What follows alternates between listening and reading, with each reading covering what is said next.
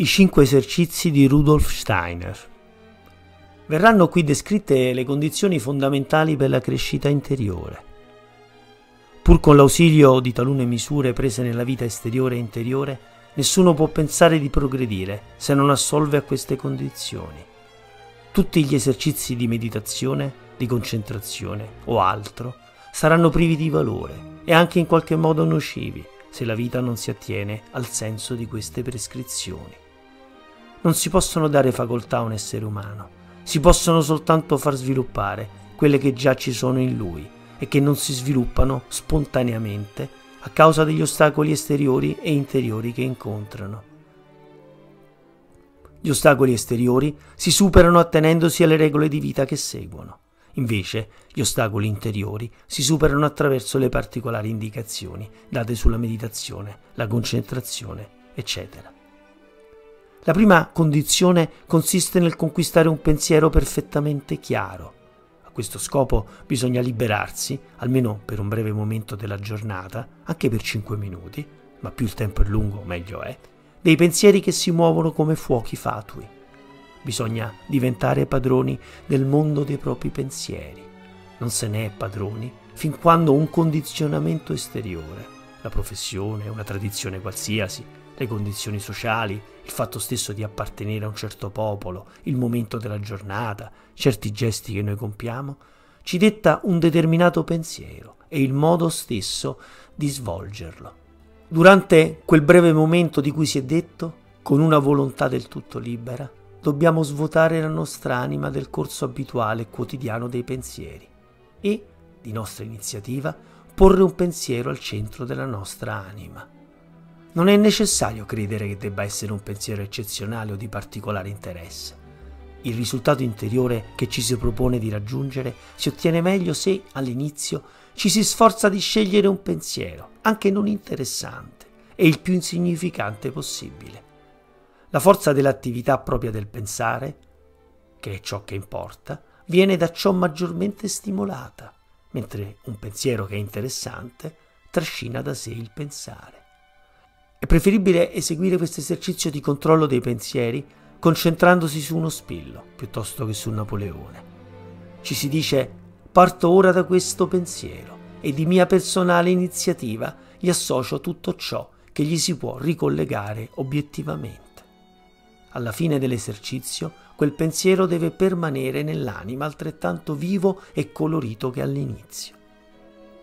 Bisogna eseguire questo esercizio ogni giorno, almeno per un mese. Si può ogni giorno scegliere un nuovo pensiero, ma anche conservare lo stesso pensiero per diversi giorni.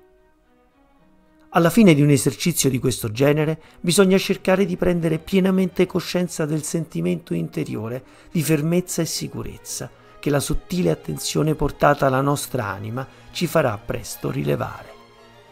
Poi si termina l'esercizio immaginando la propria testa e la linea mediana della schiena, come se si volesse riversare questo sentimento in tali parti del corpo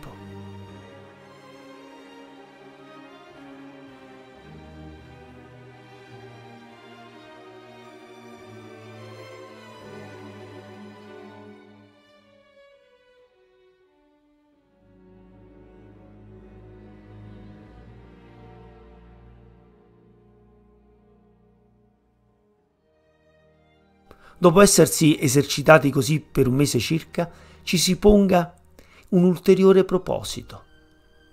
Si tenti di immaginare una qualsiasi azione che secondo il corso abituale delle proprie occupazioni non ci si sarebbe certamente mai proposti di compiere. Di questa azione si faccia di per sé un dovere quotidiano. Come azione da eseguire sarà bene scegliersi un'azione che possa essere compiuta ogni giorno per una durata più lunga possibile. Anche qui è meglio cominciare con un'azione insignificante, che occorre, per così dire, sforzarsi di compiere.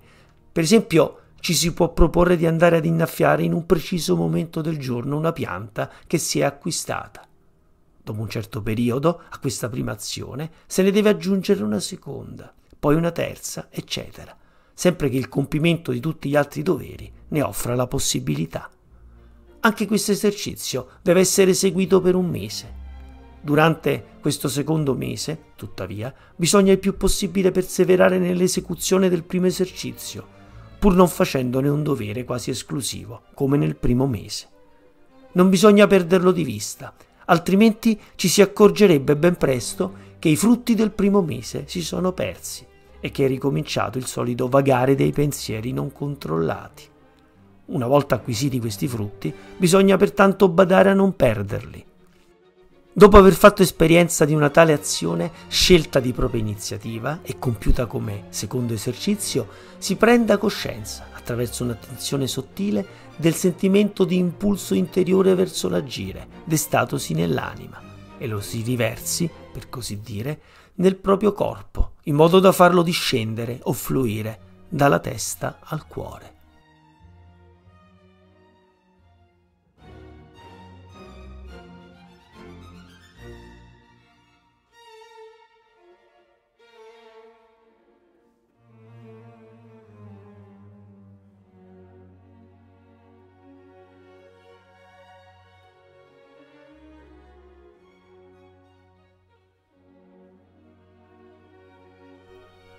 Il nuovo esercizio che va posto al centro della vita durante il terzo mese è l'educazione a una certa equanimità di fronte alle oscillazioni tra piacere e dolore, gioia e sofferenza.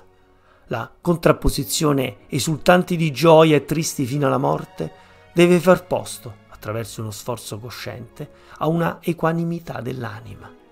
Si faccia attenzione al fatto che nessuna gioia ci faccia perdere la testa che nessuna sofferenza ci schiacci, che nessuna esperienza vissuta ci trascini verso l'eccitazione o la collera smisurate, che nessuna attesa ci riempia di timore e di angoscia, che nessuna situazione ci faccia perdere il nostro equilibrio, eccetera. Non si tema con questo esercizio di far inaridire o impoverire l'anima. Si noterà, al contrario, che grazie a questo esercizio al posto di ciò che di solito si avverte, sorgono qualità pure. Soprattutto attraverso un'attenzione sottile si potrà scoprire in sé, nel proprio corpo, una condizione di calma interiore. Si riversi questa calma nell'organismo, come nei due casi precedenti, facendola irraggiare dal cuore verso le mani, i piedi e infine la testa. È evidente che, riguardo a quest'ultimo caso, non si può far ciò dopo ogni esercizio, perché non si tratta in fondo di un esercizio isolato, bensì di una attenzione costante, diretta verso la vita interiore. Occorre però, almeno una volta al giorno, evocare dinanzi all'anima questa calma interiore ed esercitarsi a riversare, a far fluire questo sentimento dal cuore verso le mani, poi i piedi, infine la testa. Si continuerà a eseguire il primo e il secondo esercizio durante il terzo mese, come si è continuato il primo esercizio nel secondo mese.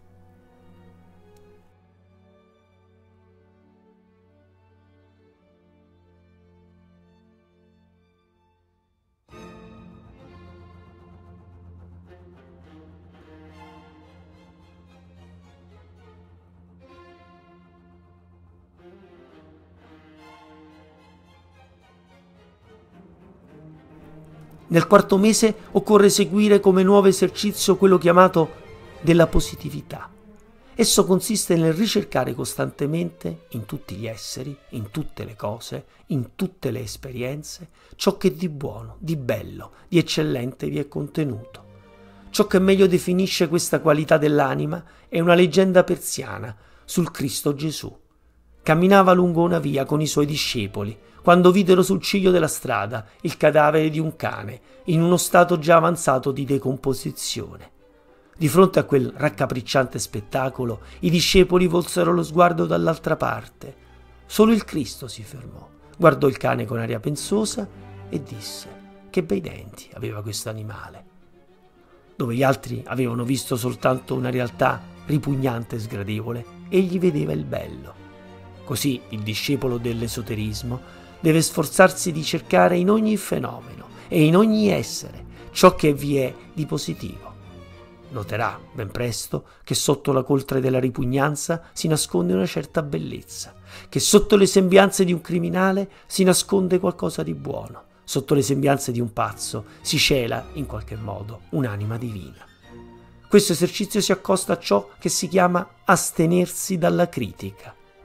Non bisogna interpretare ciò come se si dovesse denominare nero il bianco e bianco il nero, ma c'è una differenza tra un giudizio che nasce soltanto dalla reazione personale o dall'impressione personale di simpatia o antipatia e una tutt'altra attitudine, secondo la quale ci si immerge con amore nel fenomeno o nell'essere che ci è dinanzi, chiedendosi ogni volta come è giunto a essere ciò che è, a fare quel che ha fatto. Questa attitudine spinge, del tutto spontaneamente, a sforzarsi di aiutare ciò che è imperfetto, piuttosto che biasimarlo o criticarlo soltanto. E priva di valore l'obiezione che in molte circostanze della vita umana è necessario biasimare e giudicare, perché in ogni caso queste condizioni di vita sono tali da impedire di seguire una vera disciplina esoterica. Esistono in effetti numerose condizioni di vita che non consentono di seguire correttamente questa disciplina. In questo caso non bisogna voler conseguire con impazienza, nonostante tutto, quei progressi che si possono realizzare soltanto in certe condizioni. Chiunque abbia rivolto per un intero mese la sua attenzione al lato positivo di tutto ciò che incontrerà, noterà a poco a poco che nella sua interiorità affiora un sentimento che gli dà l'impressione che la sua pelle divenga permeabile in tutte le direzioni e che la sua anima si apra vastamente a tutti quei fatti segreti e sottili che gli si svolgono attorno e che prima fuggivano del tutto alla sua attenzione. Si tratta proprio di combattere contro la mancanza di attenzione che esiste in tutti di fronte a questi fatti sottili. Una volta osservato che questo sentimento si manifesta nell'anima sotto forma di felicità, si cerchi di dirigere questo sentimento, come fosse un pensiero, verso il cuore, di farlo fluire di là verso gli occhi e da questi ultimi verso l'esterno, nello spazio di fronte a sé e attorno a sé. Si noterà che si acquista così un'intima relazione con lo spazio, si va oltre se stessi, ci si dilata, per così dire si impara a considerare una parte del proprio ambiente come qualcosa che fa anche parte di se stessi. Questo esercizio richiede una buona dose di concentrazione e soprattutto il riconoscimento di un fatto. Ogni moto passionale dell'anima, ogni tempesta emotiva distrugge da cima a fondo questa attitudine dell'anima. Si ripetano gli esercizi già praticati come si è indicato per i mesi precedenti.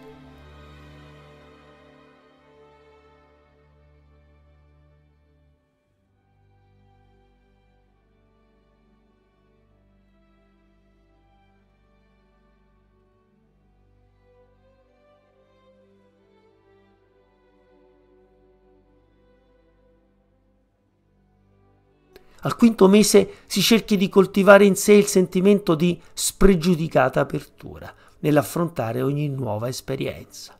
Generalmente la reazione è la seguente.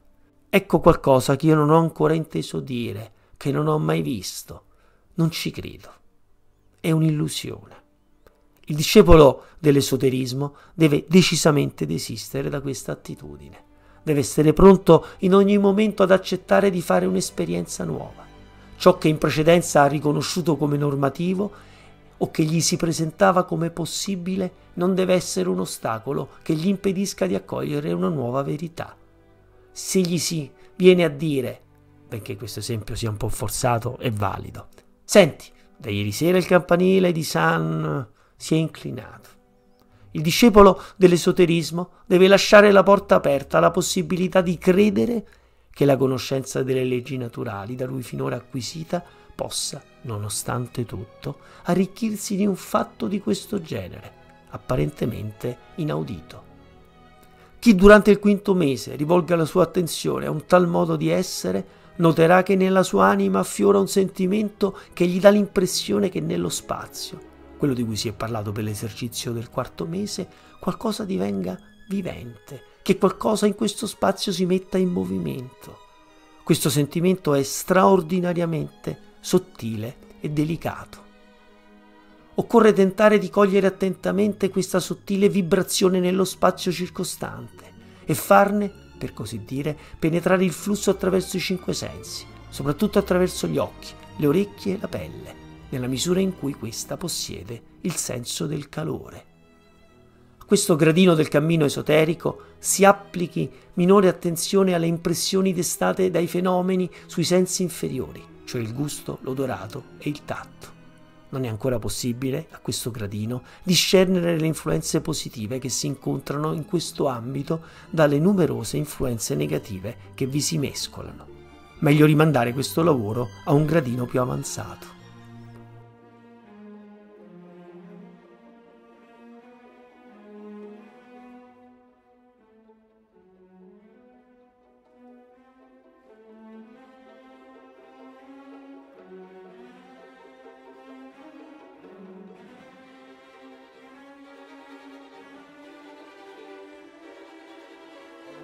Sesto mese si tenti di fare e di rifare sempre i cinque esercizi in modo sistematico, secondo un ritmo, una regolare alternanza.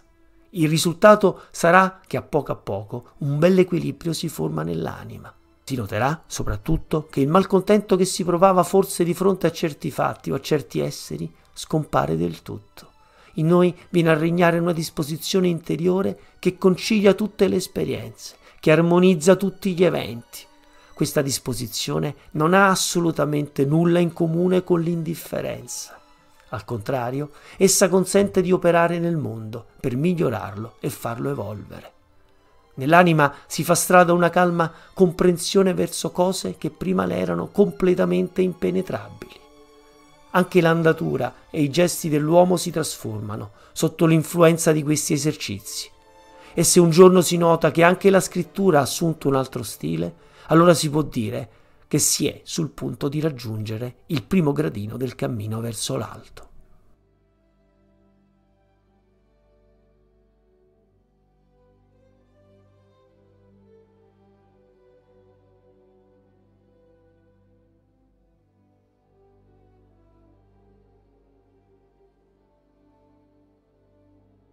Insistiamo ancora una volta su due punti essenziali. Innanzitutto sul fatto che i sei esercizi appena descritti hanno il potere di paralizzare le influenze nocive che potrebbero avere altri esercizi esoterici, così che se ne conservino soltanto gli elementi favorevoli. In secondo luogo, che essi soli, in realtà, possono assicurare un risultato positivo al lavoro di meditazione e di concentrazione. Al discepolo dell'esoterismo, per coscienzioso che sia, non basta l'osservanza della morale comune, perché questa morale può essere molto egoistica in colui che dice a se stesso voglio essere buono perché si possa pensare di me che sono buono. Il discepolo dell'esoterismo non fa del bene perché vuole che si pensi bene di lui, ma perché a poco a poco egli riconosce che soltanto il bene fa procedere l'evoluzione, mentre il male, l'azione cattiva o disordinata, pongono ostacoli sul cammino di questa evoluzione.